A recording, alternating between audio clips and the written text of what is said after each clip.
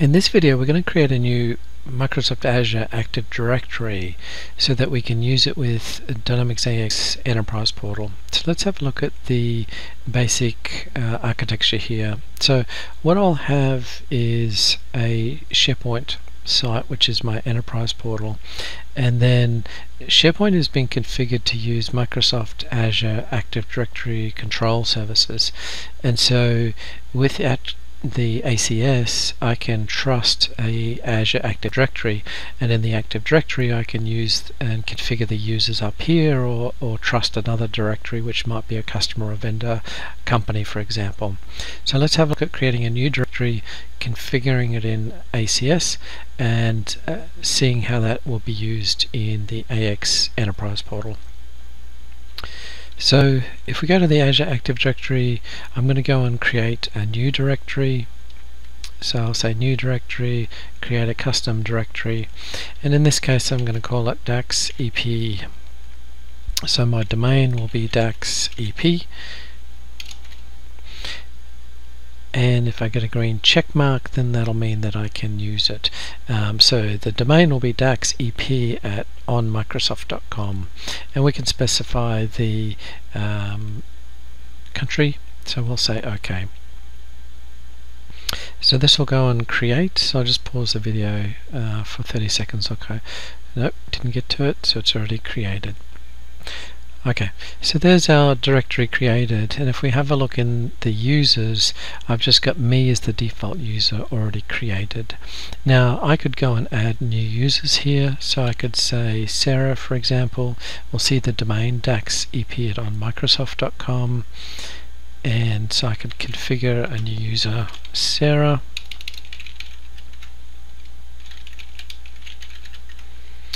there'll be a new user for example. So we'll create Sarah. And this will be the temporary password. So I'm going to just keep that for the moment. So I'm just going to put it in notepad. We'll use that later when we sign on as Sarah. So we'll say OK now at this stage um, for us to connect to the AX Enterprise portal we need to create an application. But before we create the application we need to uh, work out what the application is going to connect to. And this is actually going to connect to my Azure Access Control namespaces. So I've configured one already so if we go and manage that um, here is my uh, access control namespace. Um, so this uh, URL here represents what my application will be to Azure Active Directory. So let's go and take that. So I've just copied that. So I'm going to go back into my directory. I'm going to go back into my DAX EP directory, which is my new one, and we're going to go to Applications. So I'm going to add an application, uh, which will be an, an application my organization is developing. And I'm going to just call it uh, AXEP in this example. So it'll be a web application. So the sign-on URL in terms of um, where that access is going to happen is that access control that we created. So I'm simply going to paste these into the app properties and then we're going to say OK. So that basically means that our application's configured and this is basically saying that our Azure Access Control um, can use this application to access the directory. Now we need to do something on the other side as well which is on access control. Firstly, I'm going to go and have a look at our users so we can see our Sarah user that we created. She doesn't have access to use this application. So the individual users need to be granted access and you can do that by groups. So I'm just going to simply say assign um, Sarah to be able to access this application. So then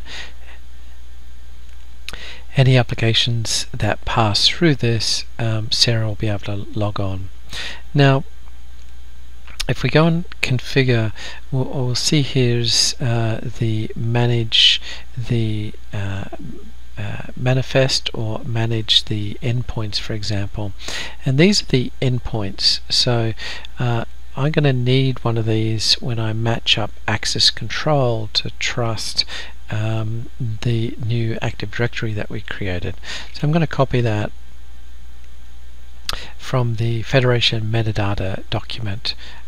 So you'll see uh, my domain is DAXEP, my application is AXEP, and I'm just taking the endpoint from the application. So this is the Federation metadata document. So let's go across to Azure Access Control. So in here I could then go and create a new identity provider and the identity provider is going to be my Azure Active Directory. So I'm going to go and say add and it's going to be a WS Federation identity provider. And so we can say next. And I'm going to call it the same as what our directory is. So in this particular case I called it DAX EP which will map to the DAX EP directory that we created. That's just purely a naming convention just to keep them the same. Now the configuration that we need is the WS Federation metadata. And that's the URL that we got from the endpoint configuration. So I'm going to paste that in here. Um, so it purely comes from the endpoints of our application, the Federation metadata document. So that's configured in here. So now ACS knows how to go and inquire about our directory over there on Azure Active Directory. So I'm going to put um, some text here this will be um, uh, when the link pops up you'll see text here specifically that the user can choose the directory to authenticate against now the relaying parties are important um, because these are already configured on my SharePoint uh, environment. These are the, the enterprise portal URLs that now will trust this identity provider. So I'm going to associate those together. So now we have a few identity providers um, I've got three that just happen to be Active Directory, Azure Active Directory, and then I have Windows Live as well. Now at this stage um, we've connected ACS to um, Azure Active Directory but we need to configure the relaying parties and this is done through what's called the rule groups so in the rule group I'm going to go and um, set these up to say we can accept the claim when it comes back from Azure Active Directory. So in this particular case I'm going to hit the generate button and I'm going to choose the DAX EP because this is not configured with my uh, specific relaying party. So I'm going to hit DAX EP which is the one the identity provider that we just configured. So I'm going to say generate. This will create a whole bunch of claims um, and in Dynamics AX we don't actually use all these claims. So I'm going to carefully remove these claims and we'll do it screen by screen. So I'm just going to say delete. Now the ones we want to keep are the name identifier. So we'll see we have name identifier for DAX EP so I'm going to remove name. I'm going to leave all the name identifiers for my different identity providers and we'll remove those to clean it up. As well we have uh, two more down the bottom so we'll just clean those up. So at this stage there's my DAX EP and I've only got the one claim now which is name identifier. So we can save that. So I'm going to do the same procedure for my other rule groups. Um, and I've got three rule groups because they relate to the three relaying applications application parties um, that are configured in the SharePoint uh, setup that we have in AX. So I'm going to pause the video. I'm just going to do that exact same procedure for these two uh, which is generate and then generate my DAX EP and then go and clean up the claims. So I'll hit pause and run through on the cleanup of this. Okay, I've done that. So if we have a look at each of our rule groups, I've just got the name identifier for each of those uh, configured. So that's really what we've been left with, name identifier and then the claim issuer, which is the trusted identity provider, which is actually Active Directory and so you'll see the third one name identifier so that's basically now the connection made so SharePoint in AX has already been configured to trust access control. Now access control trusts the Active Directory and now we'll actually be able to uh, sign in to the enterprise portal. So let's jump across to the enterprise portal. I've got it running here so I'm going to close it down and so I'm going to go into my public site that we've got configured and then when we go to the vendor portal for example I'm going to go and sign up. And so we'll say OK so now we're prompted with our different identity providers. So this is our new one which is DAX EP which I'm going to select on.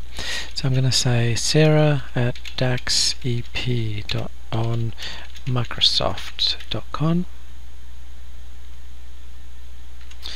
Now the password was the temporary password that we captured earlier when we initially created Sarah. So I'm going to grab that one.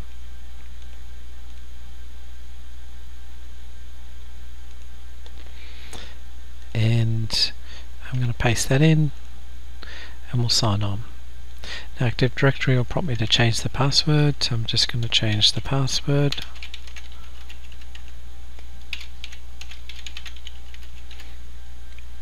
And we'll say OK and now we'll try to log back in. And we'll sign in. Okay at this point the authentication is working. We've, we've authenticated with Sarah as the new vendor um, now there's multiple ways that uh, that Sarah could be added as a user. So let's let's walk through a, another example that could be registered. But I'm going to do this as a vendor. Um, so I'm going to jump into AX and I'm going to go into the accounts payable and I'm going to go and create a new vendor and we'll say that this is DAX EP is my vendor. We'll just say that this is new supplier.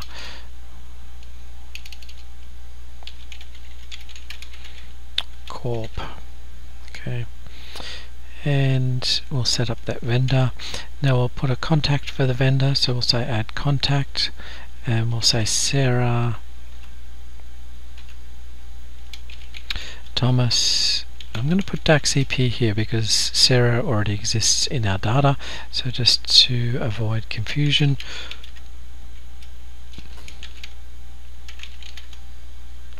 I'm going to pick the phone uh, the email address. Um, I need the and then this is a dummy email address but I need this to um, for the workflow to configure. And so At this point I've got a contact for our new supplier corp. I'm going to add a vendor user. Um, this you'll see the authentication method here is Azure ACS. Um, and so this is the inbuilt authentication built into AX 2012 um, that we've allowed to use Azure uh, ACS and this was done in uh, the R3 release. So I'm going to make um, Sarah the vendor portal administrator and we're going to hit save. At this point the workflow is going to be submitted um, so that it can start a process of actually uh, adding Sarah as a user to Dynamics AX. So if we work through the functional sort of workflow, what we'll see if I go into, for example, procurement and sourcing, I'll have vendor user requests. I'll also see this underneath the user requests area in system administration. So this is our Sarah user and you'll see that it says authentication pending. That's because uh, a workflow is running and is now sending Sarah uh, an email and if we have a look at the message here we'll get a specific unique URL for Sarah to go and log on to the portal. So I'm going to copy that URL and I'm going to go and log on so we'll go into here. We're going to say now our Azure Active Directory which is DAX EP and so we're going to log on as Sarah at DAX EP on Microsoft.com and so we'll put in our changed password and we'll sign on. At this stage the authentication process is complete and um, Sarah doesn't have to do anything more at this stage. what will happen is the next part of the workflow will actually run and you'll see that um, it's now completed. At this stage Sarah is now configured as a user in uh, Dynamics AX. So if we have a look at the users what we'll see in the user list is um, a claims user. So this is Sarah that we created and you'll see that it's connected um, through Azure ACS, which is the network domain. This network domain needs to match what's been configured in SharePoint. Uh, so SharePoint knows the domain or, or, the trusted identity provider, which is Azure ACS. Now, that's actually configured in your SharePoint Central Administrator. So in the web application, if you have a look at your authentication providers, you'll see um, that Azure ACS is the name given to the trusted identity provider. So those will match, um, and so effectively AX is, is leaving it to SharePoint and then leaving it to that identity provider configuration to authenticate the users. So at this point, Sarah is now a user. She has certain permissions. We could certainly go and change those permissions in the system. So for example, I could say and add the vendor external role to give her extra permissions on the system. If we now go across and we try to log on to Enterprise Portal, This site's using HTTPS, so I'm just going to accept the certificate error. At this point it's going to ask to sign in, so I'm going to pick the Azure ACS and this will be prompted for my different identity providers.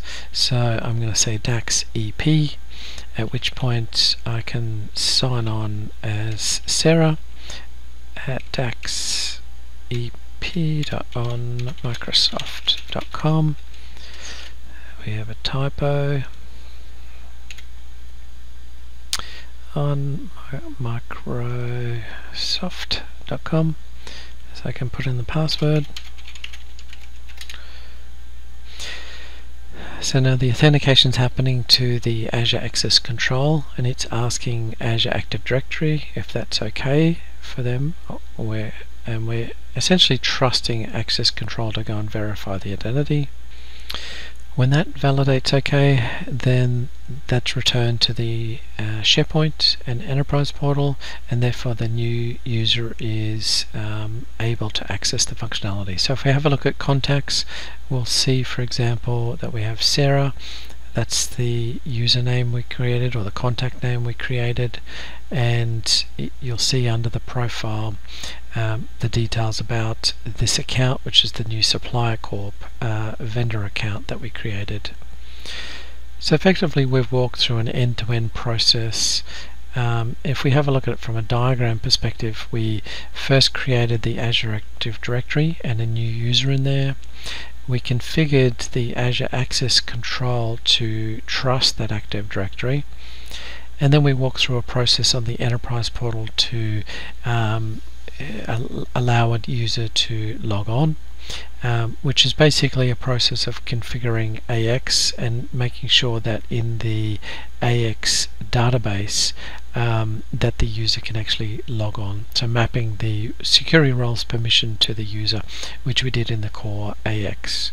So once that's done, then the user can log on to the enterprise portal and the authentication will go and reach out and check with Active Directory if they're a valid user. So that's a quick walkthrough of some of the concepts of using Azure Active Directory through ACS on the AX Enterprise portal.